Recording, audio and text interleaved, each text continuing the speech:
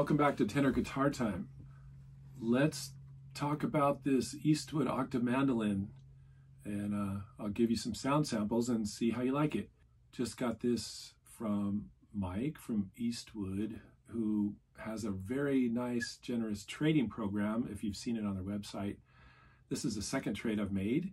And then this one, I had a 25.5 inch Mandocello, the Warren Ellis model, which again is fantastic. I had not one complaint about it other than the scale length. I thought I would use it more with this the low uh, tuning G, CGDA. Um, but when I'm playing with uh, my band, it clashes. Our my ranges with the bass player gets a little confusing, so I just ended up not using it so much. And so I traded this one, which I basically wanted the same thing. I wanted octave strings and but a more playable scale. So this is 23 inches. Uh, another improvement I like is that they, or a different, it's a difference, which I'm enjoying, is the high octave is on the top, top being closest to my face. So when I'm plucking the downstroke, you get the chime on the G, D, and A every time. Instead, when it's underneath the, the heavier string on the other models, the your pick doesn't always strike that uh, high octave string very well. So I like that feature. The neck width compared to compared to the classic tenor. So you can see they start out, I think they're both 1 and 3 16th at the nut. And then this uh, classic tenor is my favorite neck of all the Eastwood tenors uh, for my hand uh, and the feel. It reminds me of uh, my mandolin instruments. Um, of course, I like this wooden bridge. But anyway, this one gets a little wider as it gets to the body, but it's not too wide. I think the Warren Ellis is even wider, which some people may love.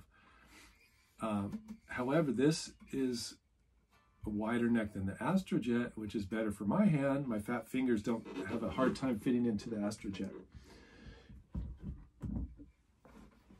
Um, what else do we have here? We have mini humbuckers. We have a much more kind of serious quality of wood compared with the laminates used on this, though I have no complaints about this one. This is maple on top and mahogany on the back. It's really got a nice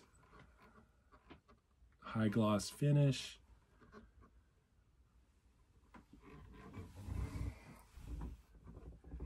The weight, it's a little heavier than the classic tenor, but it's not as heavy as some of my other guitars.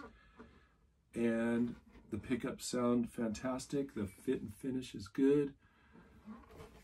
The scroll work is, you know, there's a, if you look really closely, you can find some little slight goofs, but it's nothing major. And it looks really, for the price, it's a really beautiful, solid, well-made instrument. All right, so I'm going to give you a whole bunch of sound samples coming up. At the beginning of the video, you will see and hear samples with my flat wound strings.